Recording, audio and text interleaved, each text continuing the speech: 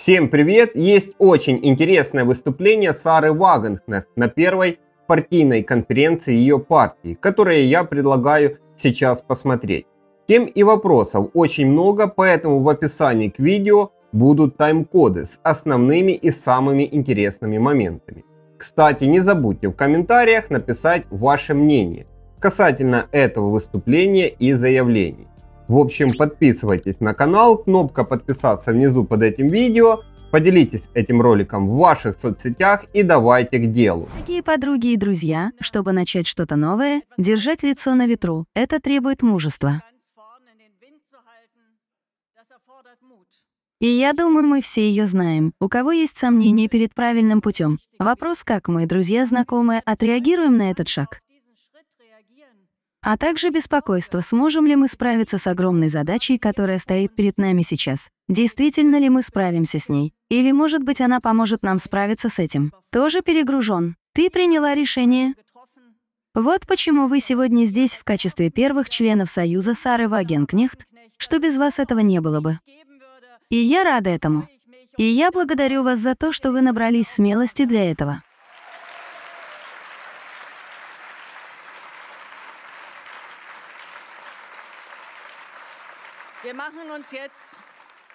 Мы сейчас вместе отправляемся в путь, чтобы изменить политику в Германии. И мы делаем это, потому что чувствуем, что в нашем обществе что-то происходит. Там так много проблем, так много неуверенности, но также так много возмущения и гнева. Политика отсиживания и смягчения, маленьких компромиссов и большого невежества. Это, вероятно, так больше не будет продолжаться. Но вопрос в том, что будет потом. Потрясение перерастет в бегство или в катастрофу. Все возможно. И мы тоже начинаем сейчас, потому что мы не просто наблюдаем, а потому что мы хотим вмешаться и действовать. Потому что теперь от нас зависит, какой будет Германия через 5 или 10 лет. И я думаю, что это очень важно. И это здорово, что вы, ребята, участвуете в этом.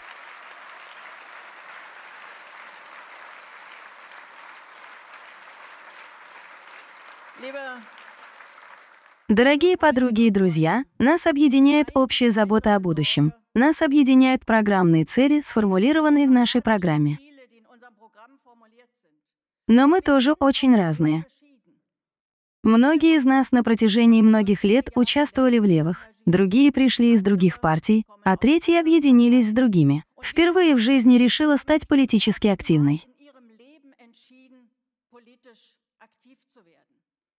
Среди нас есть профсоюзные деятели, советники предприятий и успешные предприниматели, медсестры и полицейские, теологи, атеисты, жители больших городов и сельских жителей. В стране, которая все больше раскалывается на лагеря, где отдельные группы встречаются все реже и реже, это не само собой разумеющееся, это нечто особенное и ценное. И мы добьемся успеха только если будем воспринимать это, наше различие как победу, если мы будем проявлять терпимость и уважение друг к другу. Требовать уважения не только в обществе, но и жить здесь, в нашей партии. Это должно быть нашей миссией, и это должно быть нашей целью.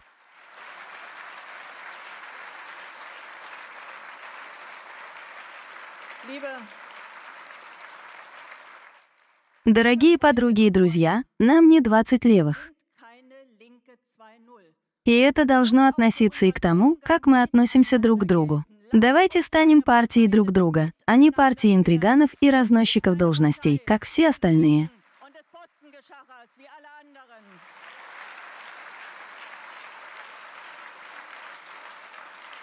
И давайте создадим структуры, в которых будут преобладать не самые безрассудные и коварные, а самые талантливые и лучшие. Потому что это то, чего мы тоже хотим в обществе. И тогда мы начнем с себя. Это очень важно, и это будет отличать нас от всех остальных, если мы будем такими. И поэтому я прошу вас, давайте будем осторожны друг с другом. Я думаю, это очень важно, чтобы мы сделали это своим кредо. Это наша ответственность, большие ожидания, надежды, которые возлагают на нас сейчас очень многие люди, которые мы испытываем каждый день, когда люди обращаются к нам на улице, в продуктовом магазине. Давайте не будем разочаровывать эти надежды, эти ожидания. Это наша большая ответственность, которую мы все вместе должны нести сейчас.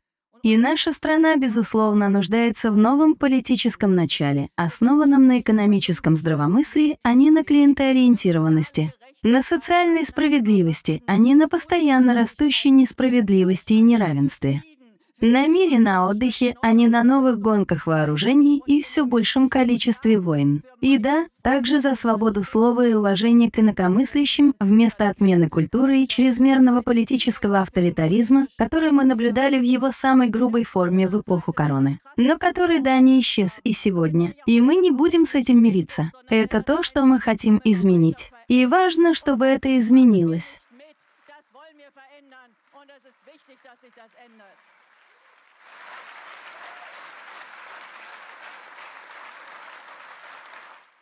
Все больше людей, все больше людей в нашей стране становятся политически бездомными, потому что вместо разумных решений они сталкиваются с политикой, в которой нет плана и ответов.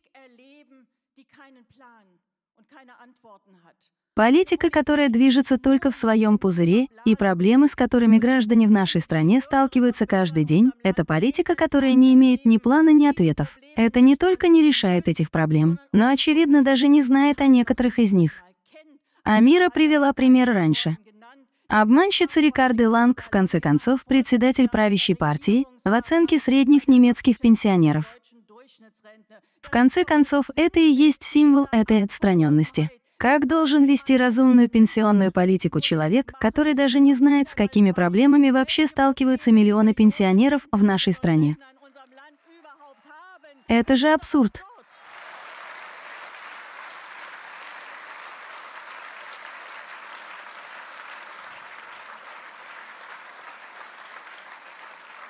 И, вероятно, Роберт Хабек тоже думает, что все люди в Германии живут в современных домах с низким энергопотреблением или в красивых отремонтированных старых зданиях. Лофты, как и его зеленые друзья в дорогих кварталах большого города. Германии, и поэтому он подумал, что это гениальная идея — установить по всей Германии тепловой насос для котельной. Вот как сегодня ведется политика. Но именно поэтому все больше и больше людей отворачиваются. Или бывший лоббист BlackRock Фридрих Мерц, который путешествует по миру на частном самолете и искренне верит, что именно так живет немецкий средний класс. Что в этом еще есть? Что-то гражданское или обоснованное?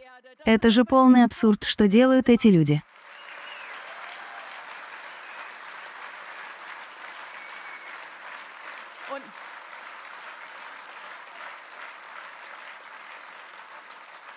И, судя по всему, вся компания светофоров никогда ничего не слышала о том, что только за последние 10 лет было продано 40 тысяч фермерских хозяйств в Германии, потому что они больше не могли выдерживать двойного давления, оказываемого с одной стороны мощными сетями супермаркетов и крупными продовольственными концернами, а с другой Сторона дешевого импорта, которая организовала политику и продолжает организовываться все новыми и новыми соглашениями о свободной торговле, такими как Меркосур. Похоже, они вообще не понимают, какие проблемы у фермеров Германии. И поэтому мне интересно, в какой параллельной вселенной должны жить политики, которые из всех отраслей промышленности сейчас затыкают свои бюджетные дыры.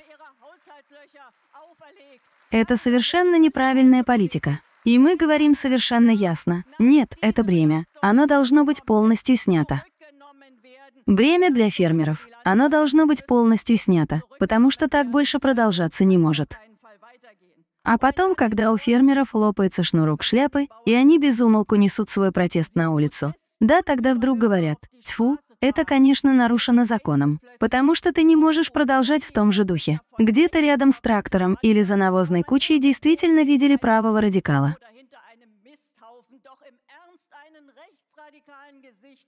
Это на самом деле то же самое, что и в прошлом году. Амира уже сказала, что 50 тысяч которая проводила демонстрации за мир в Украине перед Бранденбургскими воротами и которую СМИ и политики дискредитировали как сторонницу Путина, а также как открытую и близкую катк.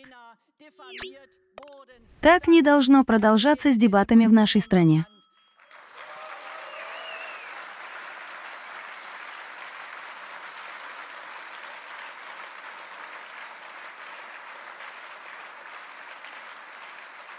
Потому что результат — на самом деле результатом этих безумных дебатов является то, что АТК сегодня считается партией мира.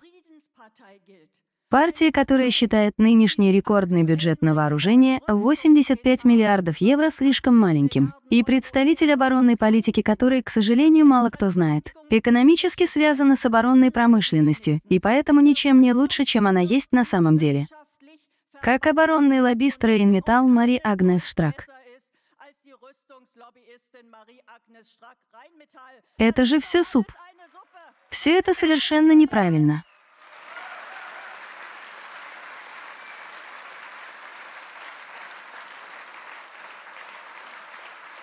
Но это все дискуссии. Это сумасшедшие дискуссии, которые мы иногда ведем в нашей стране, которая выступает за мир права, защита ферм справа, критика закрытия школ и давление на соблюдение требований в эпоху короны? Справа, призыв к ограничению иммиграции и беспокойство по поводу параллельных исламистских обществ? Справа, и после многих лет вдалбливания людям, что все разумно правильно, да, тогда возникает вопрос, когда в конце концов действительно правая партия? Партии, в рядах которой есть правые экстремисты и нацисты. Если в конечном итоге она выйдет победительницей из таких дебатов, то сейчас она набирает более 20% и надеется на абсолютное большинство на Востоке.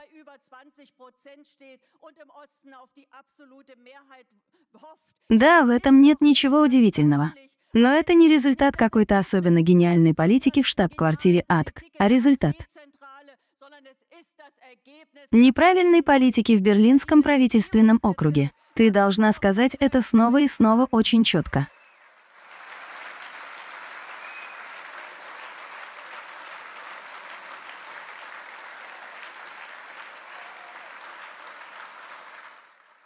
И Фредерика уже говорили об этом раньше, так что теперь сами политики светофоров выходят на улицы и героически протестуют против результатов своей собственной политики.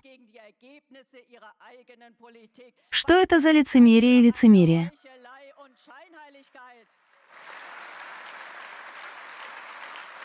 Так и надо. Ты должна сказать совершенно ясно, если ты действительно хочешь ослабить АТК.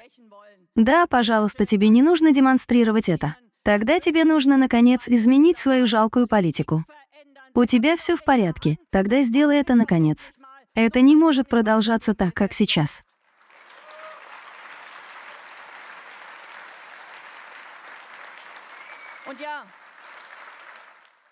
Да, конечно, многие-многие люди также участвуют в демонстрациях, потому что они искренне боятся усиления АТК.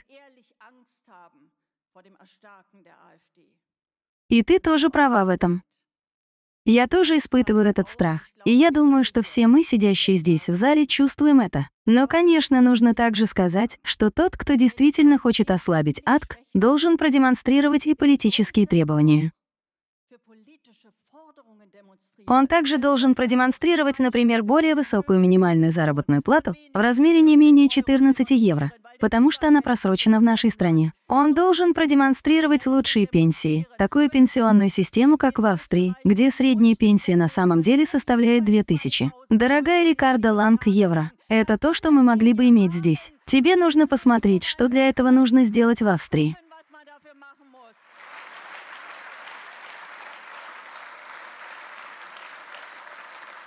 И тот, кто хочет ослабить АТК, да, он должен также выступить за доступную энергию и против экономических санкций, которые разрушают не российскую, а немецкую экономику.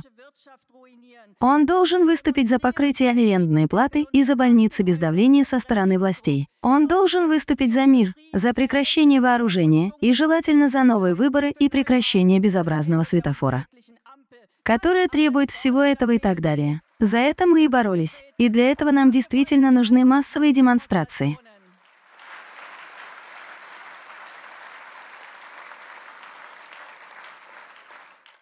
Потому что, конечно, мы не должны забывать, что светофор каждый день зарабатывает себе звание самого глупого правительства в Европе. Потому что он ведет нашу страну к кризису и в худшем случае даже к войне. Это нечто большее, чем замена недееспособного правительства. Некий Фридрих Мерц в канцелярии, который хочет еще больше сократить пенсию и поставить ракеты Таурус Украине, чтобы Зеленский мог в ближайшее время атаковать Москву даже немецким оружием. Такой Фридрих Мерц в канцелярии, безусловно, не был бы меньшим злом.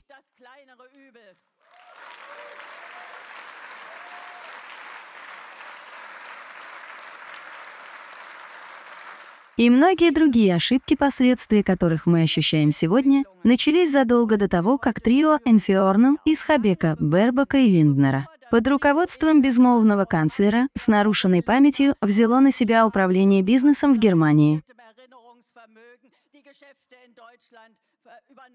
Это намного-намного дальше назад. Да, в нашей стране дела идут не очень хорошо.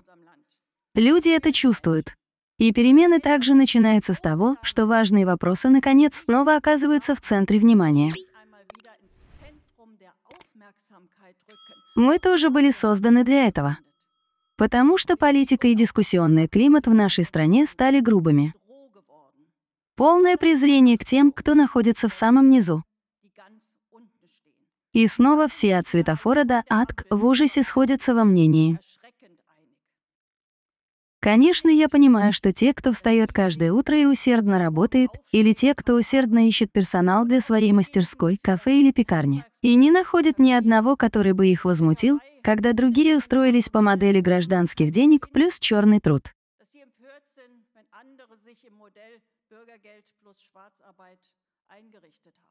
Это проблема. Но у нас тоже есть проблема, когда в стране, где единственной по-настоящему быстро растущей отраслью промышленности являются столовые приборы, которые обслуживают более двух миллионов нуждающихся, когда в такой стране говорят только о социальном насилии, а не о бедности.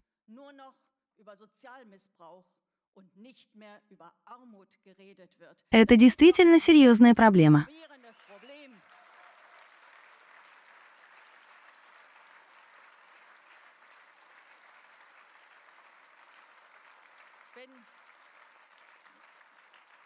Если больше не говорить о 61 годе, когда строитель строительных лесов сломал себе кости и просто не может работать на своей работе, а затем безжалостно погружается в нищету после двух лет безработицы. Если больше не говорят о матери-одиночке, которая не может принять предложение о работе уже потому, что политика не смогла обеспечить на сегодняшний день все места для дневных детских садов. И мы все знаем о дебатах. Мы все знаем дебаты о якобы нежелании молодых людей прилагать усилия и дебаты о дополнительном давлении, которое тогда было бы необходимо. Но, может быть, нам стоит поговорить и о мотивации. Федеративная республика едина с лозунгом «Процветание началось для всех». У каждого, кто прилагает усилия, должны быть возможности для продвижения по службе и перспективы хорошей жизни. Этих возможностей для продвижения по службе больше почти не существует. Родившаяся бедной почти всегда остается бедной. Это реальность.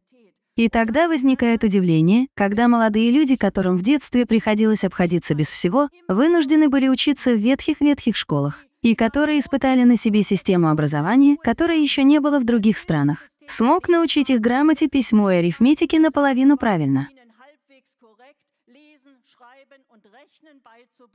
Когда эти молодые люди начинают свою жизнь практически без мотивации, да, в этом нет ничего удивительного. В конце концов, это связано с этим исходным положением. И поэтому вы должны изменить и улучшить это исходное положение. И мы тоже выступаем за это.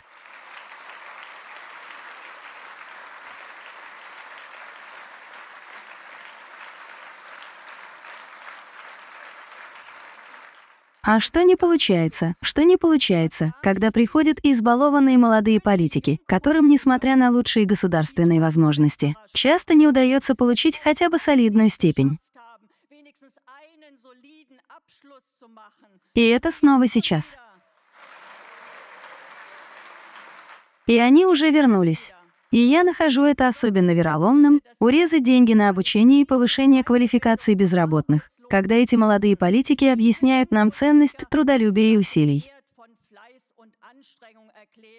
Так что это действительно очень важно, в том числе для пострадавших, но также и для всех нас.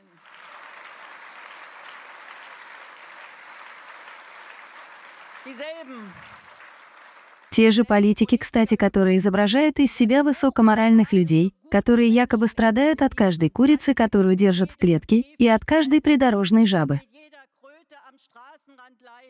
Но она, когда дело доходит до этого, которая не боится снова увеличить расходы на отопление замерзающим семьям или тем, кто уже страдает от болезни коронес. Разорять трактирщика.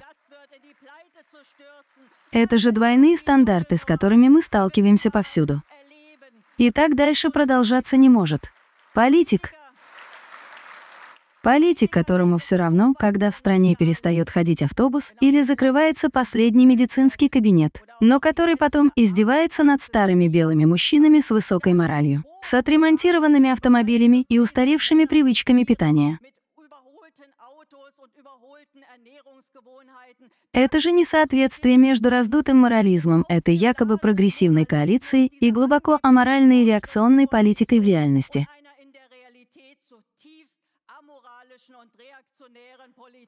Которая толкает людей, и это толкает их в объятия не того человека. Мы очень хотим это изменить.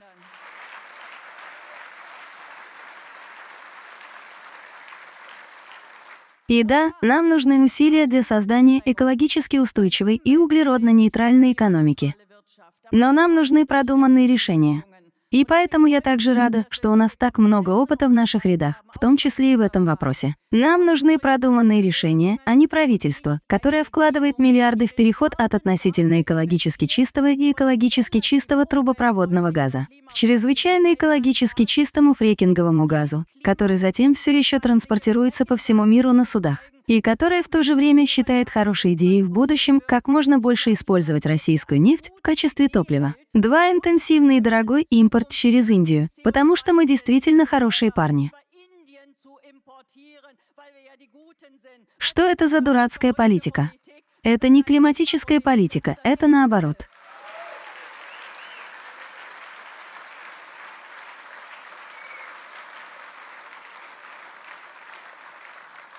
Правительство, которое затыкает свои бюджетные дыры более высокими ценами на Ко-2. И в то же время делает все возможное, чтобы железная дорога Бороди просто не стала хорошей и приемлемой альтернативой. Правительство, которое наблюдает за тем, как технологии будущего, в которых мы остро нуждаемся для изменения климата, уходят из нашей страны. В то же время она бросает 10 миллиардов акционерам американской полупроводниковой компании, которая давно прошла свой самый инновационный период. Кто еще должен верить такому правительству?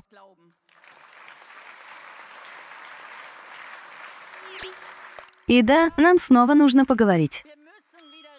Мы должны снова поговорить о социальном неравенстве, потому что никто не делает этого над нами, об экспроприации трудолюбивых. Покупательная способность заработной платы в Германии снижается уже три года, и во многих отраслях она снижается значительно дольше. Все больше и больше профессий, которые раньше обеспечивали скромный достаток, а сегодня приносят такой доход, что у тебя никогда не будет шанса на хоть сколько-нибудь хорошую жизнь с ними. На минимальный уровень социального обеспечения, на надежное планирование семьи или даже на собственный коттедж или квартиру.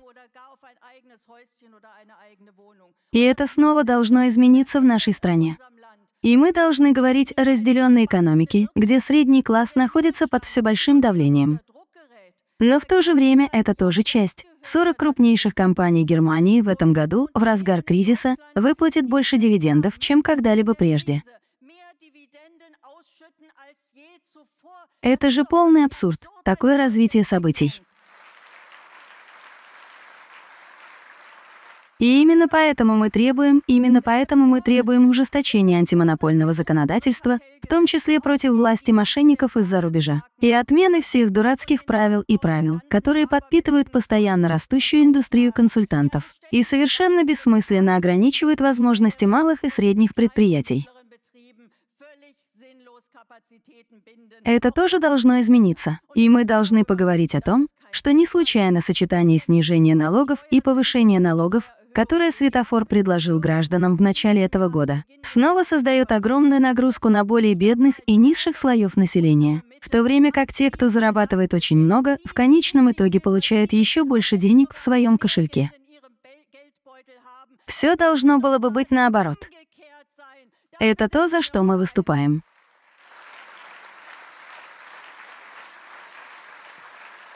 И да, я думаю, нам действительно нужно переосмыслить и поговорить об этом публично, в том числе в нашей стране, о том, как мы хотим формировать наше социальное взаимодействие и нашу экономику.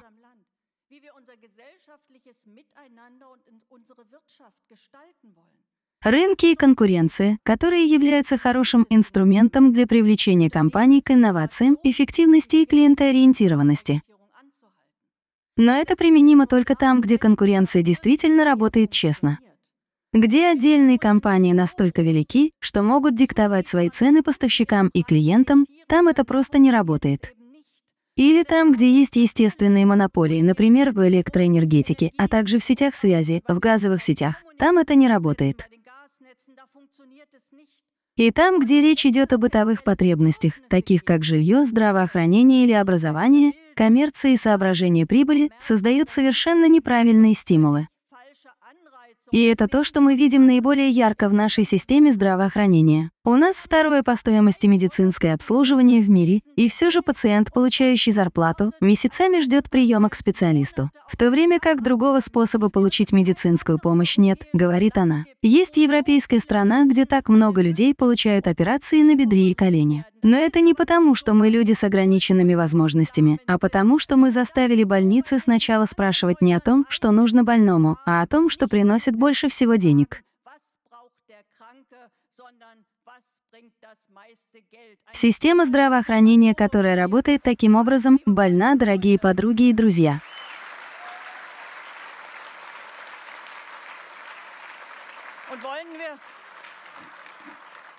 Неужели мы действительно хотим жить в обществе, где все сводится к тому, чтобы делать больше денег из денег? Где немногим дается огромная власть обогащаться за счет всех остальных, где честный все чаще оказывается глупым. Разве человек не заслуживает чего-то лучшего?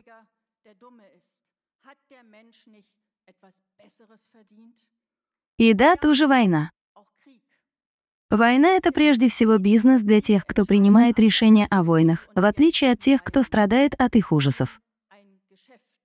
Это сырье, это сфера влияния, и это всегда продажа оружия.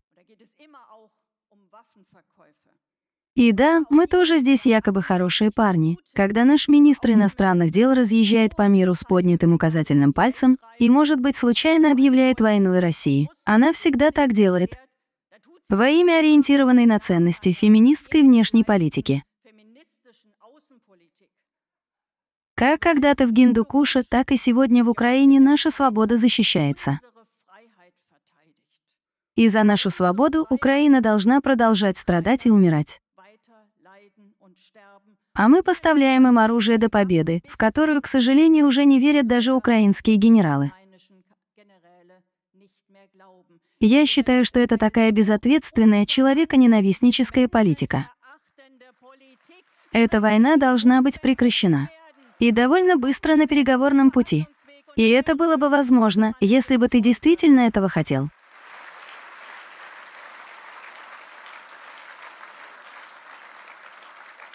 И, кстати, так что в стране, которая сегодня якобы так храбро защищает нашу свободу и наши ценности, что в этой стране нацистский коллаборационист, такой как Стефан Бандера, ополченцы которого, как говорят, так храбро защищают нашу свободу и наши ценности, что в этой стране нацистский коллаборационист, такой как Стефан Бандера, были причастны к Холокосту, ответственны за убийство тысяч евреев, русских и поляков. В этой стране такого мужчину почитают как национального героя, в честь которого названы улицы и площади. Мне уже кажется странным, что эта реальная открытость закона совсем не беспокоит наших зеленых апостолов морали.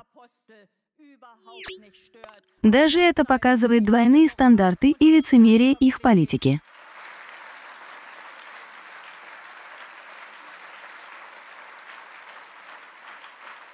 Но, похоже, наши ценности сейчас защищают даже в Саудовской Аравии.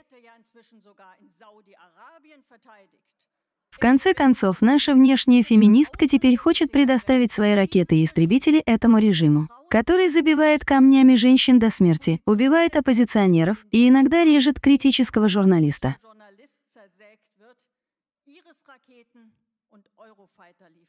Конечно, ракеты ведь носят женское имя Ирис. Поэтому в доме Бербак должно быть так много феминизма.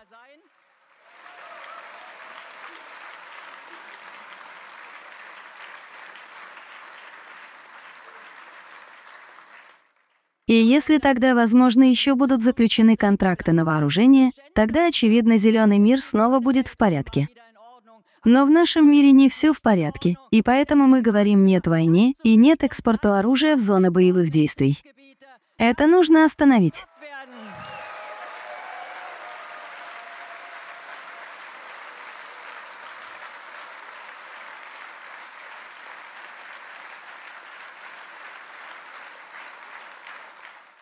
И я думаю, что уже пора прекратить это безумие, что готовая к войне Германия теперь хочет снова участвовать в военных действиях в мире полном войн. Уже и это. Чтобы остановить это, было так важно, что мы начали, и что мы продолжаем, и что вы все участвуете в этом, потому что это тоже наша работа, чтобы остановить эту военную политику.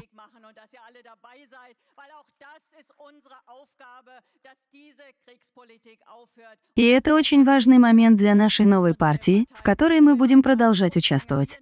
Дорогие подруги и друзья,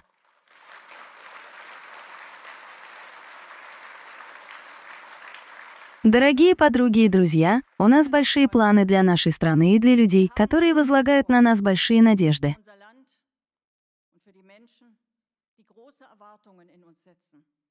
Мы в долгу перед тобой за то, что ты делаешь наше дело хорошо. Спасибо. Ну что же, очень много заявлений и жесткой критики, начиная от коалиции светофоров и заканчивая альтернативой для Германии. Много интересных моментов и претензий озвучено. Так что давайте теперь обсудим все эти заявления, критику и предложения Сары Вагенхнехт в комментариях под видео. С чем вы согласны или не согласны и почему? Думаю, что вам есть что сказать.